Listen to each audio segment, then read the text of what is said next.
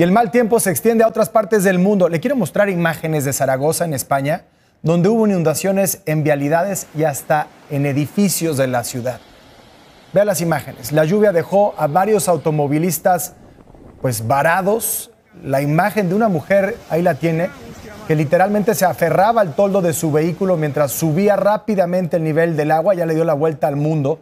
Al final, afortunadamente, fue rescatada por los bomberos de Zaragoza, al igual que otras personas que quedaron pues en los árboles en medio de las fuertes corrientes de agua sorpresivas, corrientes de agua allá en Zaragoza.